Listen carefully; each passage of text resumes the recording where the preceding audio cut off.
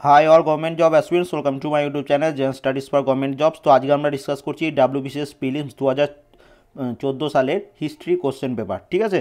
তো এর আগে আমরা দু সাল থেকে দু হাজার তেরো সাল পর্যন্ত পুরোটা কমপ্লিট করে নিয়েছি, তো যারা দেখোনি অবশ্যই দেখে নেবে, কারণ এর সাথে আমি কিছু, অনেক কিছু এক্সট্রা ডিটেলস বলে দিচ্ছি, যেটা তোমাদের পরীক্ষাতে খুব কাজে লাগবে।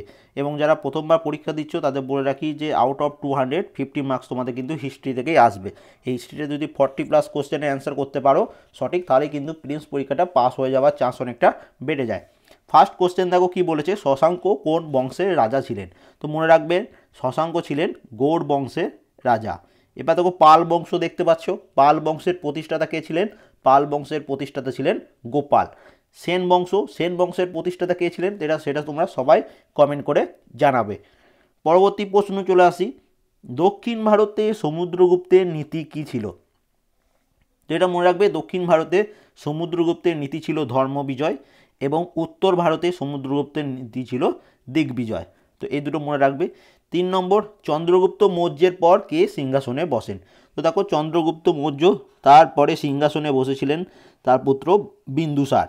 বিন্দুসার বিন্দুসার সম্বন্ধে মনে রাখবে যে বিন্দুসার সিম হাসেন এবং অমিত হাত, এই দুটি নামে পরিচিত। বহুবার তোমাদের ডাব্লিউবিসিএস এক্সামে রিপিট হয়েছে। অজাতশত্রু, তিনি কুনিক। কুনিক নামে পরিচিত, এটাও মনে রাখবে। তারপরে দেখো, অশোক অশোক কী নামে পরিচিত? দেবনাম প্রিয়, প্রিয়দর্শী নামে পরিচিত। এটাও মনে রাখবে অশোক সম্বন্ধে। এবং অশোকের সম্বন্ধে আমি কিছু এক্সট্রা ডিটেলস বলে দিচ্ছি, যেটা তোমাদের পরীক্ষায় খুবই কাজে লাগবে। তো দেখো, প্রথম যেটা মনে রাখবে, অশোকের প্রধানমন্ত্রী ছিলেন রাধাগুপ্ত। অশোক দুশো একষট্টি খ্রিস্টপূর্বাব্দে কলিঙ্গ যুদ্ধ কলিঙ্গ যুদ্ধ হয়েছিল। এটা আশা করি সবাই জানো, কত যদি প্রশ্ন আসে যে কলিঙ্গ যুদ্ধ কত সালে হয়েছিল? দুশো একষট্টি খ্রিস্টপূর্বাব্দে। এই যুদ্ধের পর সম্রাট অশোক বৌদ্ধ ধর্ম গ্রহণ করেছিলেন। এটা মনে রাখবে, এবং সম্রাট অশোকের সময় পাটলিপুত্রতে তৃতীয় বৌদ্ধ মহাসভা আয়োজিত হয়েছিল। তারপরে যেটা মনে রাখবে, মাস্কি ও গুজ্জরা শিলালিপিতে লিপিতে তাকে দেবনাম প্রিয় প্রিয়দর্শী নামে অভিহিত করা হয়েছে। তাহলে অশোক দেবনাম প্রিয় প্রিয়দর্শী নামে পরিচিত তোমরা সবাই জানো। এবার যদি প্রশ্ন আসে, কোন শিলালিপিতে অশোককে দেবনাম প্রিয় প্রিয়দর্শী বলা হয়েছে? তো সেটা হচ্ছে মাস্কি ও গুজ্জরা শিলালিপিতে। এরপর যেটা মনে রাখবে, তিনি সাঁচি স্তূপ নির্মাণ করেছিলেন। তোমরা এটা কমেন্ট করে জানিও যে সাঁচি স্তূপ কোন, কোথায় অবস্থিত। এটা তোমরা একটু কমেন্ট করে দিও। ঠিক আছে? এবং ত্রয়োদশ মানে যে তেরোতম থার্টিন্থ শিলালিপিতে সম্রাট অশোকের কলিঙ্গ যুদ্ধের উল্লেখ রয়েছে। তো এই কয়েকটা জিনিস মনে রেখো, সম্রাট অশোক সম্বন্ধে। পরবর্তী প্রশ্নে চলে আসি, সিন্ধু সভ্যতায় কোনটি একটি বড় বন্দর ছিল? তো সব থেকে বড় একটি বন্দর যেটা ছিল সেটা হচ্ছে লোথাল, লোথালে। এবার লোথাল সম্বন্ধে কিছু ডিটেলস মনে রাখবে। লোথাল, এটি হচ্ছে ভোগাবা নদীর তীরে অবস্থিত। এটা কে আবিষ্কার করেছিলেন এস আর রাও। তিনি লোথাল আবিষ্কার করেছিলেন কত সালে? উনিশশো সাতান্ন সালে। এবং এটা বর্তমানে কোথায় অবস্থিত? ভারতের গুজরাটে। কালীবঙ্গান, এটি কোন নদীর তীরে গড়ে উঠেছিল? এটা তোমরা সবাই কমেন্ট করবে। এবং সিন্ধু সভ্যতা যতগুলো আছে মহেঞ্জোদারো এগুলো সবাই কোন নদীর তীরে গড়ে উঠেছিল? কে আবিষ্কার করেছিল? এবং বর্তমানে কোথায় রয়েছে? সেটা অবশ্যই দেখে যাবে। এখান থেকে একটা প্রশ্ন তোমাদের পিএসসি ডাব্লিউবিসিএস এর প্রত্যেক বছর আসে। ইন্ডিয়া রিফর্ম অ্যাসোসিয়েশন আগের দিনই পড়িয়েছিলাম দু হাজার তেরো সেটে। তোমাদের বলেছিলাম কে? কেশবচন্দ্র সেন। তিনি ইন্ডিয়ান রিফর্ম অ্যাসোসিয়েশন প্রতিষ্ঠা করেছিলেন। রামমোহন রায় কী করেছিলেন? ব্রাহ্মসভা পরবর্তী প্রশ্নে চলে আসি। কোন শাসক, বুদ্ধ এবং মহাবীরের সমসাময়িক ছিলেন? তো তিনি হচ্ছেন কে? বিম্বিসার। বিম্বিসার তিনি কোন বংশের রাজা? বিম্বিসার হচ্ছেন হজ্জাঙ্ক বা হরিয়াঙ্ক বংশের রাজা। এবং তিনি কি নামে পরিচিত? তিনি হচ্ছেন সৌনিক নামে পরিচিত। বিম্বিসার কি নামে পরিচিত? বিম্বিসার হচ্ছে সৌনিক নামে পরিচিত। এটা মনে থাকবে। এবং তিনি কাজ ছিলেন? বুদ্ধ এবং মহাবীরের সমসাময়িক। এটা মনে রাখবে। কত সালে কংগ্রেস মন্ত্রিসভা প্রদেশগুলিতে কাজ শুরু করেন? তো এখানে এটার অ্যান্সার হচ্ছে উনিশশো সাঁইত্রিশ সালে। এবার আমরা চলে আসি দেখো অপশন বিতে যেটা রয়েছে উনিশশো সাল। উনিশশো সালে কী হয়েছিল? উনিশশো সালে হয়েছিল ডান্ডি মার্চ। ডান্ডি মার্চ কত তারিখে হয়েছিল? Twelfth March nineteen thirty. Dandi অভিযান যেটাকে বলা হয়। এবং উনিশশো সালে আরেকটা ঘটনা হয়েছিল, সেটা হচ্ছে প্রথম গোল টেবিল বৈঠক হয়েছিল উনিশশো সালে। ঠিক আছে? এটাও মনে রাখবে। ব্রিটিশদের বিরুদ্ধে উলগুনান উপজাতির বিদ্রোহ সংগঠিত হয়েছিল কার মাধ্যমে? তো এটার অ্যান্সার কী হচ্ছে? এটা অ্যান্সার হচ্ছে বিরসা মুন্ডার মাধ্যমে। এবার বিরসা মুন্ডার মাধ্যমে যে মুন্ডা বিদ্রোহ হয়েছিল, মুন্ডা বিদ্রোহ কোথায় হয়েছিল? ছোটনাগপুরে এবং মুন্ডা বিদ্রোহ হয়েছিল কখন? আঠেরোশো নিরানব্বই সাল থেকে উনিশশো সাল পর্যন্ত। এবং এটাও তোমাদের কিন্তু PBS year question West WB ডাব্লিউবিসিএসে ঠিক আছে? এই আগের সালগুলো দেখলে তোমরা ঠিক করতে পারবে অ্যান্সার নিচের কে ঊনবিংশ শতাব্দীর দ্বিতীয়ার্ধে একটি জাতীয় কাগজ, একটি জাতীয় বিদ্যালয় ও একটি জাতীয় ব্যায়ামাগার স্থাপন করেছিলেন। তো এটি করেছিলেন কে? নবগোপাল মিত্র। অপশন সি হচ্ছে এখানে এটার অ্যান্সার। দশ নম্বর প্রশ্নটা তোমরা দেখতে দেখতে পাচ্ছ যে কি বলেছে? All India Trade Union Congress কে স্থাপন করে? এটা পিএসসি তোমাদের প্রুভ করে দিল যে এর অরিজিনাল অ্যান্সার কি হচ্ছে? এন এম যোশী অনেকজনা এন এম যোশী এবং লালা লাজপত রায়, এই দুটোর মধ্যে কনফিউজ থাকে। তো অরিজিনালি যদি প্রশ্ন আসে All India Trade Union Congress কে স্থাপন করে? তো অ্যান্সার হচ্ছে এন এম যোশী। এবং এটা দু হাজার চোদ্দ সালের প্রশ্ন। এর আগে টোটাল চারবার এই প্রশ্নটা রিপিট হয়েছে। ঠিক আছে? তো এবং অল ইন্ডিয়া ট্রেড ইউনিয়ন কংগ্রেসের প্রতিষ্ঠাতা হচ্ছেন এম এন যোশী। এটা কত সালে এস্টাবলিশ হয়েছিল? এটা এস্টাবলিশ হয়েছিল উনিশশো কুড়ি সালে। কোথায় হয়েছিল? বোম্বেতে। এবার যদি প্রশ্ন আসে, অল ইন্ডিয়া ট্রেড ইউনিয়ন কংগ্রেসের প্রথম সভাপতি বা প্রথম প্রেসিডেন্ট কে ছিলেন? তখন অ্যান্সার হবে লালা লাজপত রায়। আবার যদি প্রশ্ন আসে, অল ইন্ডিয়া ট্রেড ইউনিয়ন কংগ্রেসের প্রথম জেনারেল সেক্রেটারি কে ছিলেন? তো তখন অ্যান্সার হচ্ছে দিওয়ান চমনলাল। দিওয়ান চমনলাল ছিলেন অল ইন্ডিয়া ট্রেড ইউনিয়ন কংগ্রেসের প্রথম জেনারেল সেক্রেটারি। পরের প্রশ্নে চলে আসি, কোন সালে মৌলিক অধিকার ও জাতীয় অর্থনৈতিক নীতির বিষয়ে কংগ্রেস প্রস্তাব গ্রহণ করেছিল? তো এটা করেছিল উনিশশো সালের করাচি সেশন। করাচি সেশনে মানে করাচিতে যে কংগ্রেসের সেশনটা হয়েছিল সেখানে। এবং এই করাচি সেশনের কে সভাপতিত্ব করেছিলেন? এই সেশনে সভাপতিত্ব করেছিলেন বল্লভভাই প্যাটেল উনিশশো চল্লিশ সালে কী হয়েছিল? পাকিস্তান প্রস্তাব কোথায় হয়েছিল? সেটা তোমরা কমেন্ট করবে। নিচের কে ক্ষুদায় খিদমতগার সংগঠনের প্রতিষ্ঠাতা ছিলেন। দেখো, এই প্রশ্নটা তিন চারবার রিপিট হয়ে গেল পরপর। তো এটার অ্যান্সার কী হচ্ছে? খান আব্দুল গাফার খান। অপশান এ হচ্ছে এটার অ্যান্সার স্বাধীনতা লাভের সময় ভারতীয় জাতীয় কংগ্রেসের সভাপতি কে ছিলেন? তো এখানে এটার অ্যান্সার হচ্ছে J B Kripalani. Option D হচ্ছে এটার অ্যান্সার পরের প্রশ্ন চলে আসি আমরা। নিচের কে কংগ্রেস সোশ্যালিস্ট পার্টির সদস্য ছিলেন না। এবং তোমাদের বলে রাখি, ডাব্লিউবিসিএস যারা দিচ্ছ লাস্ট পর্যন্ত প্রশ্নটাকে পড়বে। খুব ইজি প্রশ্ন, অনেকজনা এই লাস্ট পর্যন্ত নাটা না দেখার জন্য ভুল করে দিয়ে চলে আসে। তো নিচের কে কংগ্রেস সোশ্যালিস্ট পার্টির সদস্য ছিলেন না। এখানে এটা অ্যান্সার কী হবে? Option B Jawaharlal Nehru. এই প্রশ্নটা একটা কনফিউজিং প্রশ্ন, তো ভালোভাবে দেখে নেবে কি বলেছে। কংগ্রেস সাইমন কমিশন বর্জন করেছিল কেন? এর মেন রিজন কি? তো মেন রিজন হচ্ছে এখানে কোনো ভারতীয় সদস্য ছিল না। এবার অপশানগুলো দেখো। কংগ্রেসে কোনো প্রতিনিধি ছিল না, এটাও অ্যান্সার হচ্ছে না। মুসলিম লীগের একজন সদস্য ছিল না, এটাও অ্যান্সার হবে না। এটি নির্ধারিত সময়ে এক বছর আগে নিয়োগ করা হয়েছিল, এটাও অ্যান্সার হবে না। তো অ্যান্সার কী হচ্ছে?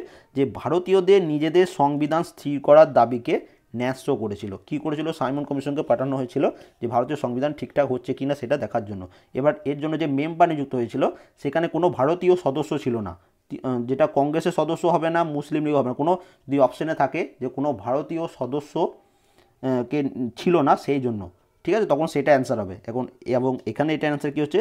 যে ভারতীয়দের নিজেদের সংবিধান স্থির করার দাবিকে ন্যাস্য করেছিল। তো অপশন সি হচ্ছে এখানে এটার অ্যান্সার নিচের কোনটি প্রাচীনতম বেদ? প্রাচীনতম বেদ। তো ওল্ডেস্ট বেদা বা প্রাচীনতম বেদা হচ্ছে ঋগ্বেদ। ঋগ্বেদের কী ছিল? কাস্ট সিস্টেম এবং ঋগ্বেদ ঋগ্বেদে তোমাদের যেটা ছিল গায়ত্রী মন্ত্র এবং এই ঋগ্বেদে এক হাজার আঠাশটি স্তোত্র আছে। এগুলো একটু মনে রাখবে ঋগ্বেদের সম্বন্ধে। কাস্ট সিস্টেম ওটাই সব থেকে বেশিরভাগ তোমাদের পরীক্ষায় রিপিট হয়। দু হাজার তেরোতেও এসেছিল ওটা। কে প্রথম গোল টেবিল বৈঠকে যোগদান করেন? তো একটা জিনিস মনে রাখবে, গোল টেবিল বৈঠক সম্বন্ধে আমি বলে দিচ্ছি, উনিশশো সাল, একত্রিশ সাল, বত্রিশ সাল। উনিশশো সালে ফার্স্ট গোল টেবিল বৈঠক সেকেন্ড হয়েছিল উনিশশো একত্রিশে এবং তৃতীয় হয়েছিল উনিশশো বত্রিশে। উনিশশো এই তিনটে গোল টেবিল বৈঠকে মাত্র দুজন মেম্বার আছে যারা এই তিনটে গোল টেবিল বৈঠক অ্যাটেন্ড করেছিল। এক হচ্ছে ডক্টর বি আর আম্বেদকর, যেটা তোমাদের অপশানে নেই। সেকেন্ড পার্সন তিনি হচ্ছেন তেজ বাহাদুর সাপরু তাহলে তেজ বাহাদুর সাপরু তিনি প্রথম, দ্বিতীয় তৃতীয়। এই তিনটে গোল টেবিল বৈঠক অ্যাটেন্ড করেছিল। কার সাথে? সাথে ডক্টর বি আর আম্বেদকর। এনারা দুজন। এবার এখানে প্রশ্ন যদি আসে যে কে প্রথম গোল টেবিল বৈঠকে যোগদান করেন? তাহলে এখানে অ্যান্সার কী হচ্ছে? তেজ বাহাদুর সাপরু। এবং আরেকটা জিনিস মনে রাখবে যে উনিশশো একত্রিশ সালে যে দ্বিতীয় গোল টেবিল বৈঠক হয়েছিল, সেটাতে একমাত্র গান্ধীজি যোগদান করেছিল, বাকি দুটোতে করেনি। তো এটা মনে রাখবে, উনিশশো সালের দ্বিতীয় গোল টেবিল বৈঠকে মোহনদাস করমচাঁদ গান্ধী, তিনি দ্বিতীয় গোল টেবিল বৈঠকে যোগদান করেছিলেন। এইটুকু মনে রাখো, তাহলে এখান থেকে তোমাদের কমন চলে আসবে। কার পতনের পর সুভাষচন্দ্র বসু নেতাজির নেতৃত্বাধীন আজাদহীন ফৌজ ব্রিটিশদের কাছে আত্মসমর্পণ করেছিল। তো এটা কাজে জাপানের। অপশন সি হচ্ছে এটার অ্যান্সার। আলেকজান্ডার পুরুর বিরুদ্ধে কোন নদীর তীরে যুদ্ধ হয়েছিল? তো আলেকজান্ডারের সাথে পুরুর যুদ্ধ হয়েছিল কত সালে? তিনশো ছাব্বিশ খ্রিস্টপূর্বাব্দে কোন নদীর তীরে? ঝিলাম নদীর তীরে। অপশন বি হচ্ছে এটার অ্যান্সার। কোন কংগ্রেস সভাপতি উনিশশো বিয়াল্লিশ সালের ক্রিপসের সঙ্গে ও ওয়েবেলের সঙ্গে সিমলায় কথাবার্তা চালিয়েছিলেন? তো এখানে এটার অ্যান্সার কী হবে? এটার অ্যান্সার হচ্ছে আবুল কালাম আজাদ। আবুল কালাম আজাদ, তিনি উনিশশো বিয়াল্লিশ সালে কংগ্রেসের সভাপতি ছিলেন। তিনি ক্রিপস এবং ওয়েবেলের সঙ্গে সিমলায় কথাবার্তা চালিয়েছিলেন। ঠিক আছে? তো যদি প্রশ্ন আসে, সিমলায় কনফারেন্স কখন হয়েছিল? নাইনটিন ফর্টি টুতে এটাও মনে রাখবে। পরের প্রশ্ন চলে আসি, ভারতের জাতীয় কংগ্রেসের প্রতিষ্ঠাতা সভাপতিকে। দেখো কোশ্চেনটা একটু কনফিউজিং করে দিয়েছে। প্রতিষ্ঠাতা সভাপতিকে। সভাপতি যখনই থাকবে, তখন অ্যান্সার হবে ডাব্লিউ সি ব্যানার্জি যদি শুধু প্রশ্ন আসতো যে প্রতিষ্ঠাতাকে, তখন এটার অ্যান্সার হতো A O Hume Allan Octavian Hume তাহলে অপশন অনুযায়ী এখানে এটার অ্যান্সার হচ্ছে প্রতিষ্ঠাতা, সভাপতি। এরকম প্রশ্ন কেন দেয় আমি বুঝি না। দুটো দু রকম অ্যান্সার হয়। তো দেখো, প্রতিষ্ঠাতা, সভাপতি থাকলে ডাব্লিউ সি ব্যানার্জি অ্যান্সার করবে। ঠিক আছে? যদি প্রতিষ্ঠাতা শুধু দিত অ্যালেন অক্টোভিয়ান হিউম পরে এবং কত সালে? আঠেরোশো পঁচাশি সালে। এটাও তো প্রত্যেক দিনই রিপিট হয়। এখান থেকে প্রশ্ন আসবে। ঠিক আছে? ভারতের শেষ ব্রিটিশ ভাইসরয় কে ছিলেন? তো দেখো, ভারতের শেষ ব্রিটিশ ভাইসরয় ছিলেন Lord Mount Batten option B হচ্ছে এটার অ্যান্সার। ওয়েবেল পরিকল্পনা পূর্ণ ফলশ্রুতি কি হয়েছিল? তো দেখো ওয়েবেল পরিকল্পনার পূর্ণ ফলশ্রুতি হয়েছিল সিমলা কনফারেন্সের আহ্বান। কত সালে হয়েছিল? কিছুক্ষণ আগেই পড়লাম, উনিশশো বিয়াল্লিশ সালে। আগস্ট অফারের প্রস্তাবগুলি কী ছিল? তো দেখো, এখানে এটা অ্যান্সার হচ্ছে, আগস্ট অফারের প্রস্তাবগুলি ছিল ডোমিনিয়ান স্টেটাস নিয়ে, অপশন বি হচ্ছে এটার অ্যান্সার। এবং আগস্ট অফার হয়েছিল কখন? নাইনটিন ফর্টি, উনিশশো চল্লিশ সালে, এইট আগস্ট, আটই আগস্ট। এবং এই সময় কে ভাইসরয় ছিলেন? Lord Linlithgow Lord Linlithgow তিনি এই সময় ভাইসরয় ছিলেন। ঠিক আছে, এটা মনে থাকে। এবার চলে আসি টোয়েন্টি ফোর নম্বর কোশ্চেনে। মুঘল সম্রাট শাহজাহান কত সালে মারা যান? দেখো, এখানে এই প্রশ্নটার সঠিক অ্যান্সার হচ্ছে শাহজাহান মারা গিয়েছিলেন ষোলোশো ছেষট্টি সালে, যেটা তোমরা দেখতে পাচ্ছ কোনো অপশানে নেই। তাহলে এরকম প্রশ্নই ভুল তোমাদের দিয়েছিল এই দু হাজার চোদ্দ সালের কোশ্চেন পেপারে ঠিক আছে? তাই এবং এবার পিএসসি কোনটা অ্যান্সার ধরবে সেটা কেউ বলতে পারে না, তাই এটা কোনো অ্যান্সার হবে না। অরিজিনালি তিনি মারা গেছিলেন ষোলোশো ছেষট্টি সালে। এবার শাহজাহান সম্বন্ধে মনে রাখবে, তিনি তাজমহল নির্মাণ করিয়েছিলেন লালকেল্লা নির্মাণ করিয়েছিলেন, জামা মসজিদ নির্মাণ করিয়েছিলেন এবং শাহজাহানাবাদ শহর সেটাও কিন্তু শাহজাহানই নির্মাণ করিয়েছিলেন। এইটুকু জিনিস মনে রাখবে। কে বোম্ব সমাজে সক্রিয় নেতা ছিলেন না? তো বোম্ব সমাজের সক্রিয় নেতা ছিলেন না স্বামী বিবেকানন্দ। এরপরে আরেকটি প্রশ্ন, এটাও বিভিন্ন কনফিউজিং লাগে। অসহযোগ আন্দোলনের শুরু করার তাৎক্ষণিক কারণ কী ছিল? তো অসহযোগ আন্দোলনের শুরু করার তাৎক্ষণিক কারণ ছিল জালিয়ানওয়ালাবাগের হত্যাকাণ্ড।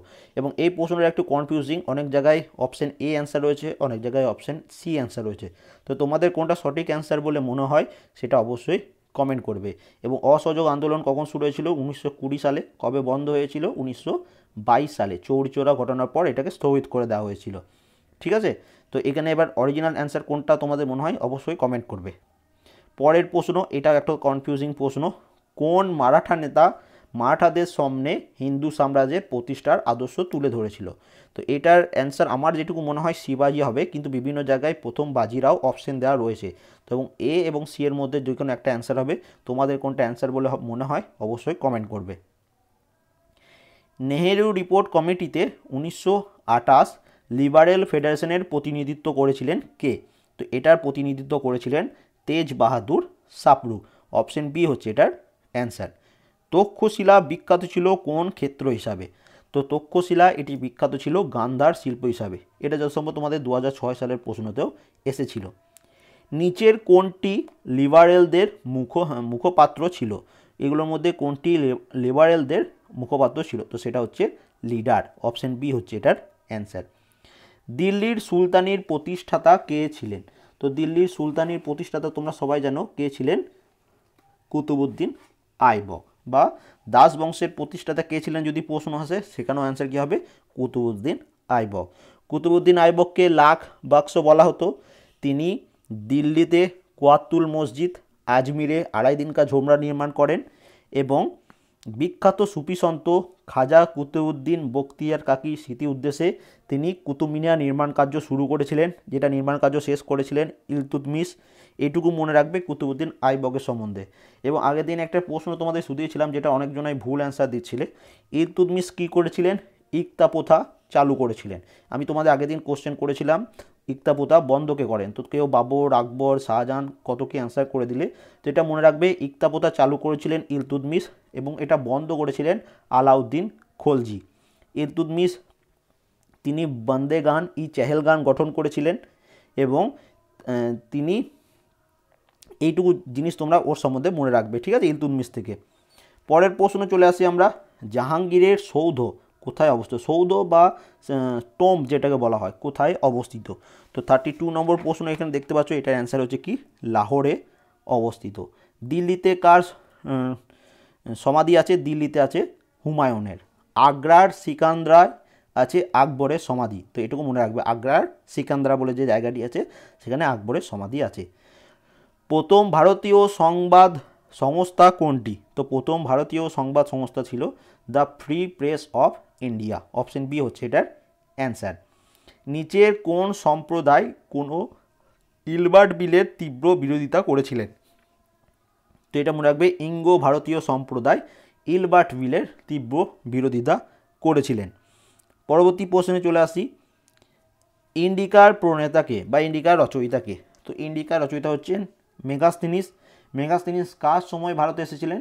চন্দ্রগুপ্ত মৌর্যের সময় তিনি ভারতবর্ষে এসেছিলেন।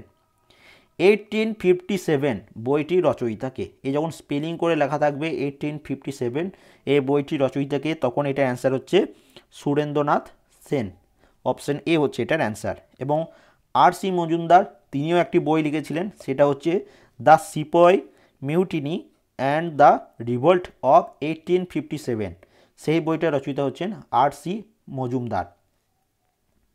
আসি থার্টি সেভেন নম্বর প্রশ্নে। এশিয়াটিক সোসাইটির প্রতিষ্ঠাতাকে, তো এটা মনে হচ্ছে প্রত্যেক সিট মানে প্রত্যেক বছরই প্রশ্নটা রিপিট হচ্ছে। তো এটা তোমাদের সবার আশা করি মুখস্থ হয়ে গেছে এতদিন। তো এশিয়াটিক সোসাইটির প্রতিষ্ঠাতা হচ্ছেন উইলিয়াম জোন্স। অপশন বি হচ্ছে সরি অপশন ডি হচ্ছে এটার অ্যান্সার কত সালে? সতেরোশো চুরাশি সালে। কত তারিখে?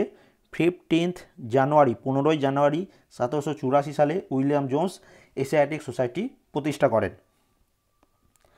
আঠেরোশো সাতান্ন সালের মহাবিদ্রোহের সময় ভারতের গভর্নর জেনারেল কে ছিলেন? তো এটা তোমাদেরও আগের দিনই আমি তোমাদের এটা পড়িয়েছিলাম যে আঠেরোশো সাতান্ন সালে যে মহাবিদ্রোহ হয়েছিল, তো তখন গভর্নর জেনারেল কে ছিল?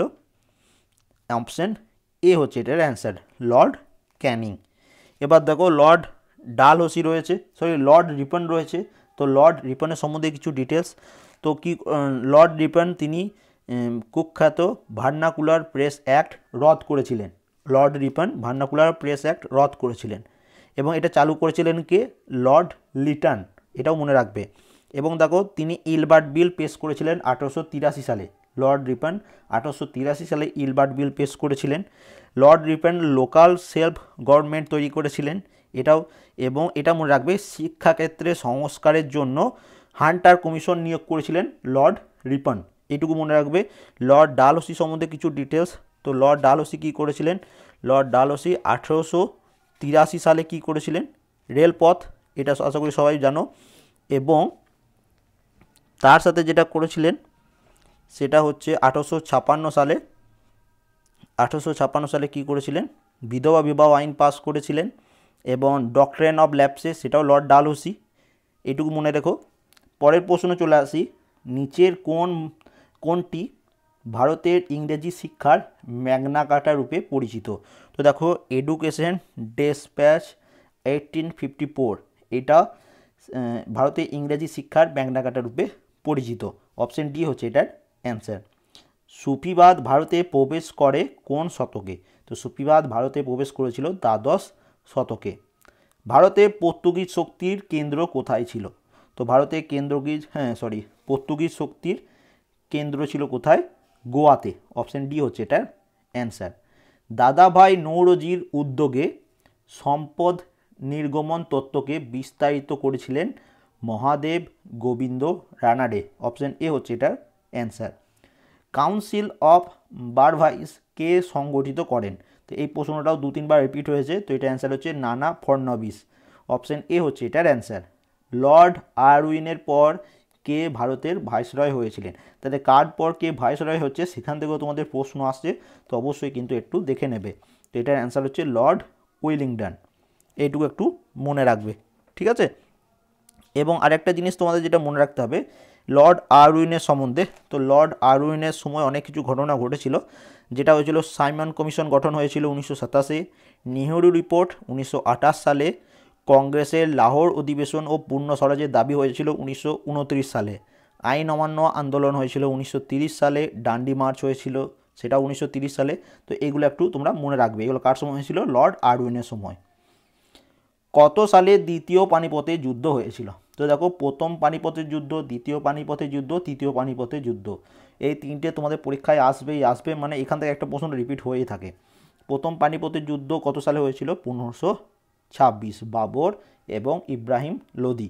পনেরোশো ছাপ্পান্ন সালে হয়েছিল আকবর এবং হিমুর মধ্যে এবং সতেরোশো একষট্টি সালে হয়েছিল তৃতীয় গোলটেবিল বই সরি তৃতীয় পানিপথের যুদ্ধ। তো এই তৃতীয় পানিপথের যুদ্ধ কাদের মধ্যে হয়েছিল সেটা তোমরা কমেন্ট করে জানাও। নিচের কোন সংবাদপত্রটি মহারাষ্ট্র থেকে প্রকাশিত? তো এগুলোর মধ্যে ক্রান্তি এই সংবাদপত্রটি মহারাষ্ট্র থেকে প্রকাশিত। এবং লাস্ট প্রশ্ন বাহমনি রাজবংশের প্রতিষ্ঠাতা কে ছিলেন? তো বাহমনি রাজবংশের প্রতিষ্ঠাতা ছিলেন আলাউদ্দিন হাসান বাহমনি শাহ, বাহমন শাহ। তো দেখো আউট অফ ফিফটি কোশ্চেন থাকে, তো দু হাজার সালে আমি টোটাল ফর্টি সেভেন কোশ্চেন খুঁজে পেয়েছি। হয়তো তিনটে কোশ্চেন আমি খুঁজে পাইনি। তো সেটা তোমাদের কোনো বই থাকলে সেখান থেকে অবশ্যই পড়ে নেবে। ঠিক আছে? কোশ্চেনগুলো খুঁজে খুঁজে আমাকে বার করে টাইপিং করতে হয়, তাই অনেকটা টাইম লেগে যায়। তো যদি ভিডিওটি ভালো লেগে থাকে, অবশ্যই একটা লাইক করে দেবে। যদি কোনো প্রশ্নের অ্যান্সার ভুল বলে মনে হয়, অবশ্যই কমেন্ট করে দেবে। যারা যারা ডাব্লিউ বিশেষ দিচ্ছে তোমাদের বন্ধু, তাদের সাথে অবশ্যই ভিডিওটা শেয়ার করবে। And thank you for watching